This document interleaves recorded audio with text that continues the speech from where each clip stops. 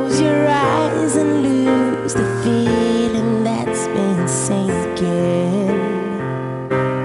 Close your eyes and count to three. Close your eyes, rewind. I know just what